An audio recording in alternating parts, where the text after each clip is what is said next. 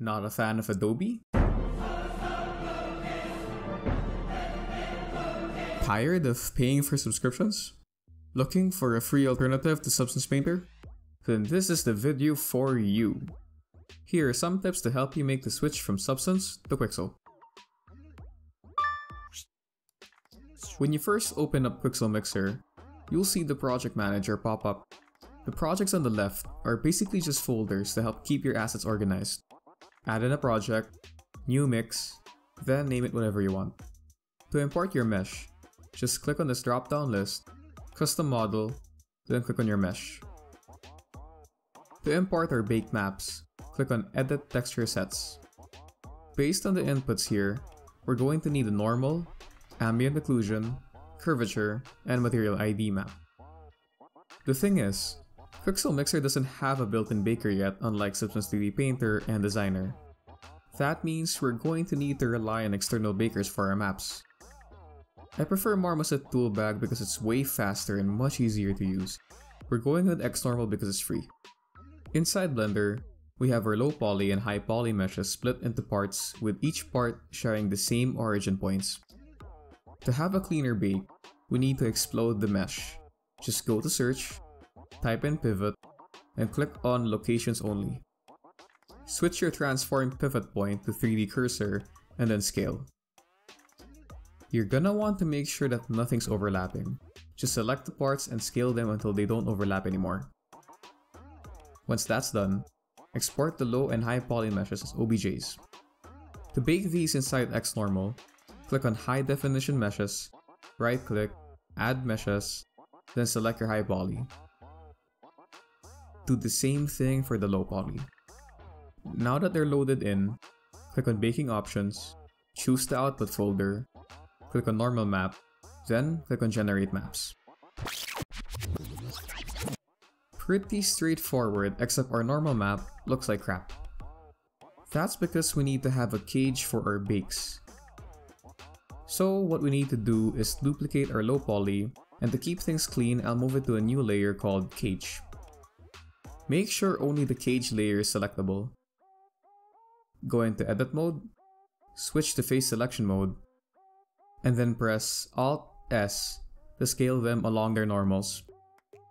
The goal here is to scale them just enough to cover both the high poly and the low poly. As a bonus tip, you can select all the cage meshes and press Ctrl F2 to batch rename them. Put in the suffix and replace it with something like cage. Once everything's good to go, you can go ahead and export. Now go to the low definition meshes, right click, browse external cage file, then import your cage mesh. Click on generate maps and we should have a clean normal map. Now that we know it's clean, we can bump up the resolution and bake our ambient occlusion and curvature maps.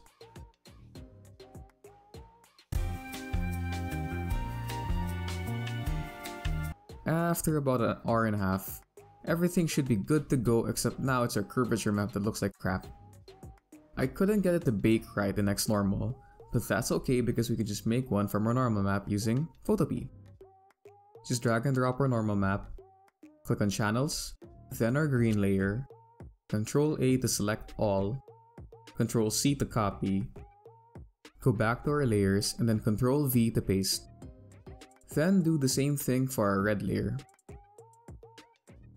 We can label them so we know which is which. Then click on the green layer, go to filter, stylize, emboss, then set the angle to 90 and pixel height to 3. Then do the same thing for the red layer except the angle should be set to 0. Then set the blending mode to overlay. Let's copy our blue channel, Ctrl I to invert, then set the blending mode to screen. Then to fix the transparent background, just add in a new layer, set the color to gray, then go to edit and click on fill. And that's our curvature map. The last thing we gotta do is to bake our material ID map. In order to do this, we need to assign vertex colors to the parts. Make sure the viewport shading is set to vertex, and then go to your high poly, switch to vertex paint mode, pick a random color, then press shift K to set the color. Do this for all your parts, export the low poly, high poly, and cage meshes as FBX files. Import them into XNormal, and then bake out your material ID map. Now if you're wondering, why didn't we just use FBX files to bake the other maps? That's because they look like doo-doo. Back in Quixel Mixer, we can click on Import All Maps, select the folder where they're all located, and there we go. The material ID didn't import because of the naming conventions. Now you can either just import it manually by clicking on the folder icon or you can click on settings, then add in the suffix for your ID map. Select the folder again, and this time it should import correctly. Click on layers and let's drag in a material from the local library, which is essentially Mixer's shelf. To make it visible in the layers tab, click on add layer set and under that is our material. To apply the plastic to specific parts, you can add in a folder, drag the material inside, right click, and add an ID mask. Now you can press and hold Q to select the parts you want to mask based on your material ID map. To modify the material, click on Layer, and on the right, you should see the material properties. I'll just change the color of the plastic to an off-white color. From here, you can texture it the same way you do it in Painter. Currently, Mixer doesn't have any support for opacity in emissive maps. A workaround you can do is to add a fill layer with the albedo set to white.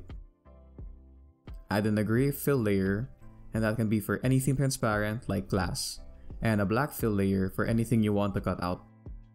And when you're finished, just export as an albedo map and just rename it to opacity. The same method can be used for emissive maps.